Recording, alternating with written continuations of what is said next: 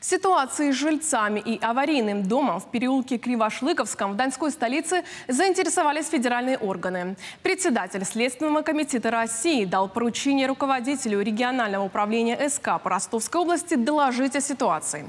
Напомню, у городской администрации принято решение о расселении дома из-за аварийного состояния, но большинство жителей с ним не согласны. Как сообщают на сайте Следственного комитета, с 2020 года администрация требует от жильцов покинуть покинуть квартиры. И все это время спор решался в судах, где жильцы выступали против расселения и пытались доказать, что дому просто необходим ремонт.